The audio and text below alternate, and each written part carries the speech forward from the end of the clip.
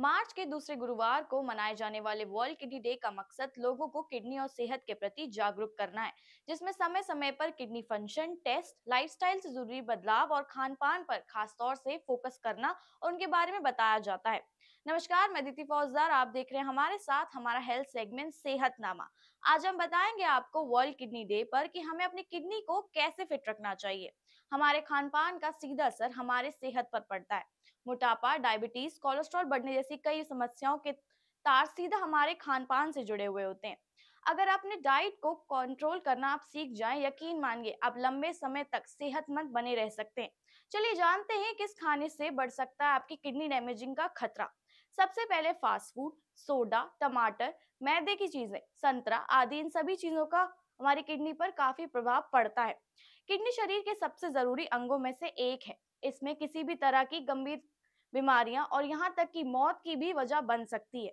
Kidney दो सबसे ज़रूरी काम करती है। पहले ये शरीर में मौजूदा पदार्थों को बाहर निकालती है और दूसरा, शरीर में इलेक्ट्रोलाइट्स यानी कि सोडियम और पोटेशियम का बैलेंस बनाकर रखती है।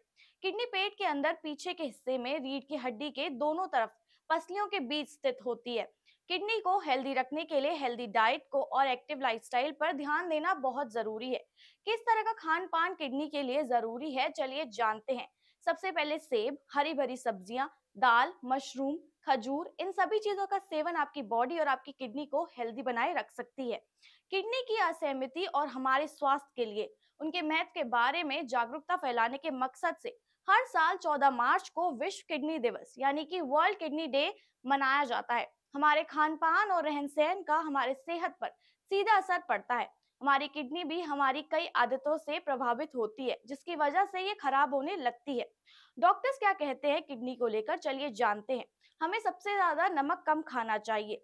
हमें अपनी बॉडी में पानी की कमी नहीं होने देना चाहिए। हमें पेन किलर्स का इस्तेमाल कम करना चाहिए। इसके साथ ही हाई प्रोटीन डाइट को भी हमें नहीं लेना चाहिए। इसके साथ ही हमें स्मोकिंग को भी अवॉइड करना चाहिए। इन सभी चीज़ों पर ध्यान रखें और अपनी किडनी को और अपनी बॉडी को सुरक्षित रखें। आज के लिए बस इतना ही। ऐसे हेल्थ टिप्स के लिए बने रही हमारे चैनल द नगरी मीडिया के साथ। धन्यवाद।